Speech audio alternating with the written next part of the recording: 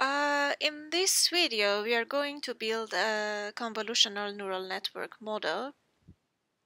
And uh, uh, the data that we are working on here is the data from a, a Kaggle challenge for classif classifying uh, the images of dogs and cats. Uh, the data set could be found in Kaggle, but uh, I will put the data uh, in the GitHub as well. So you can find it uh, directly there. And uh, the training archive contains 25,000 images of dogs and cats, and testing contains 12,005 images uh, of dogs and cats. So let's import some libraries that are useful. And these are more or less what we normally do. And uh, for from Keras, uh, we basically say uh, we need a sequential model because the convolutional neural network we have we, are, we have uh, conv2d for our images max pooling 2d uh, we want to flatten it uh, before feeding it to fully connected layer and uh, dense is fully connected layers and uh, we talked about dropout before in another and I'm also getting shuffled because I want to shuffle the data so let's import this. Okay. And now I'm going to define some global variables here. Okay, and that's done. And uh, now let's train, uh, now let's define two different variables, train images and test images and uh, to, inform, uh, to store the past informational images that we have and then uh, we define a function to read the image at a given file using OpenCV. So a next function that I'm going to have here is prep data image that uh, takes the list of all images in the past and prepare the data in the format needed by a convolutional uh, neural network let me do this. And then let me call it on the training and uh, testing data uh, to prepare the training this testing data set. So it will take a bit of time. Let's wait.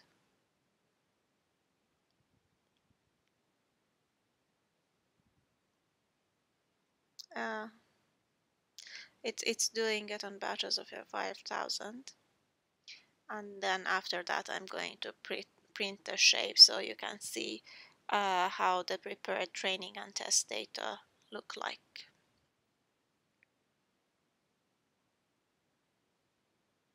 You can also find uh, this code in GitHub. I will post the link and the description box uh, under this video in YouTube. I'm going also to put the GitHub link uh, in Moodle so you can find all the lectures there. Uh, the codes uh, you uh, showed in all the lectures there. I am planning to add the slides there as well. Uh, of course the slides are majority figures so it's important to listen to the videos, uh, not only browse through uh, the uh, slides, but since uh, some of you asked for it, I'm going to upload them there as well. So you can have access to all the material of the course there.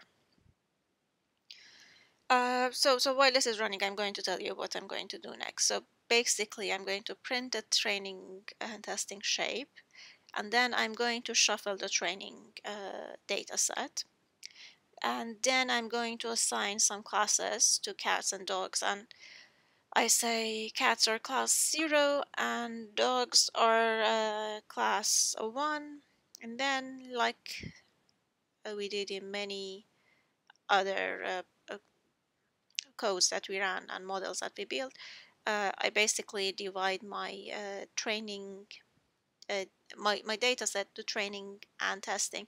Remember that we have a testing data set, but that is actually is going to be used later. So I'm I, I need a training and validation. If you remember in the last lecture last lecture I told you that we have three different data set training, validation and testing.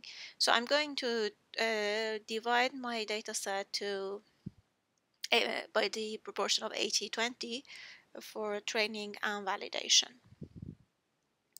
And, uh, and after that, I'm going to convert the, uh, the, the test uh, and validation labels to one hot vector representation. And I think we are done here, so let's run these ports. So you see the shape is as we expected. And let me do this. Okay. Now let's uh, visualize our data set. I'm going to define a function show images that takes the argument and the index of image and then produce the respective image. So let's see what is the first one. So this is a cat and it is labeled as a cat. Okay. So there is one more thing and that is to basically normalize our training and validation data set. Okay, it is done. And I am also going to import this in earlier stopping here. Of course, you don't necessarily need to do it but uh, it is possible that after uh, some uh, some epochs the training starts going uh, not the way you want so you want to get to, to get the best model in time. So I'm going to include that as well. And what I'm going to, to do next is to build my convolutional neural network. Uh, and I'm also uh, uh, using an optimizer SGD uh, and as before this is a sequential model I am adding one convolution layer and remember in the first one you need to give the input shape but you don't need to do it in the other layers. Then I'm going to add a max pooling layer then again convolution max pooling and I'm adding dropout because it will help the performance of my model. Again convolution max pooling convolution max pooling and convolution and I don't do max pooling here anymore but then I flatten the data dropout and I have my uh, fully connected layers here. And this is the this is my activation function. I compile the model and then here is my architecture. Yep. Okay and I am putting my callback functions here to early, to do early stopping if the training didn't go the way we wanted all the way to the end and this is going to take some times so I'm going to get back to you uh, when it is done it may take some hours because well, I actually wanted to put it on 50. I'm going to put it on 50 and get back to you later. Okay, uh, it indeed took some hours for me and I changed the number of epochs to 50 and the batch size is uh, like before 10. So this is a new copy. But uh, the training stopped after, I mean, it went all went all through to the end. So earlier stopping was not really needed. And the uh, the accuracy on the training data set is like 92%, 90% is on uh, the validation data set. This is a pretty decent accuracy uh, with playing more. I mean, running it a couple more times, starting from different points, changing the values here, for example, of learning rate decay and so uh, so on.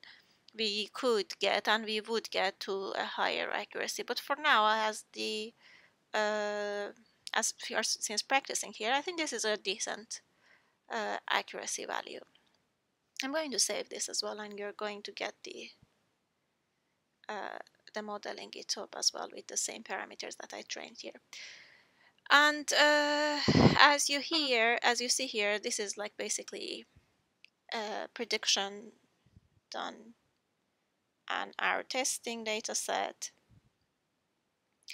and it predicted correctly here. This is a cat and model prediction 0 was cat. So let's see what for the 101 this is the dog and this is the model prediction is one. So so far so good. So uh, what I want to do now uh, I want to see uh, I, I just have a function to see the prediction of a range of pictures on our test data set.